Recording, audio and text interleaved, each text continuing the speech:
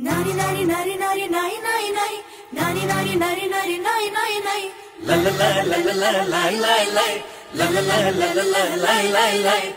Vanavond eh, houden wij de Belganistan Party in het Oude Badhuis. Dat is een eh, initiatief, een project dat gegroeid is vanuit de groepswerking met jonge Afghaanse vluchtelingen. Ehm, omdat het er zoveel waren, hebben we besloten om daar iets mee te doen.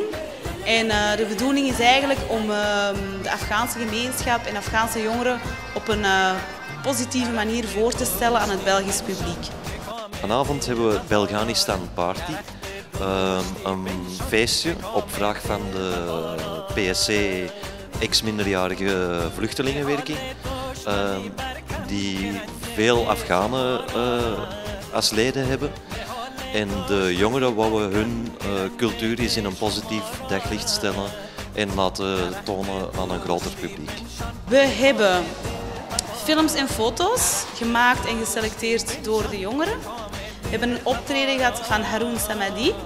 Dat is een eh, Afghaan die, eh, die op Linkeroever woont en die voor ons is komen optreden. We hebben Campina Reggae hier gehad. Hebben de Soul Shaker DJ's gehad. En eh, om af te sluiten bij DJ Ahmad geboekt. Dat is een eh, Afghaanse DJ. Ze hebben het niet gemakkelijk gehad. Ze hebben soms heel veel bagage bij. Ze komen uit verschrikkelijke situaties. Ze hebben verschrikkelijke reizen afgelegd. Maar ze zijn naar hier gekomen om vooruit te gaan en ze werken mee. Dat is eigenlijk mijn ervaring met Afghaanse jongeren. Ik vond de Afghanen heel plezant.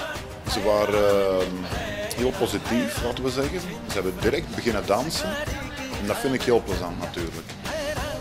Nee, ik denk eh, zeker voor, eh, voor mensen die misschien moeite hebben om mij te verstaan, waren ze heel enthousiast. Dus ik ben heel blij.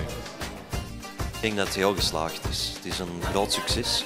Eh, het was fijn dat er zowel heel veel Afghanen als Belgen op afgekomen zijn. Dat ze met respect voor elkaar omgingen en dat ze nu allemaal samen op de dansvloer staan. man de de insan la farig dona tapos ukura dona tapos ukura hey, oh.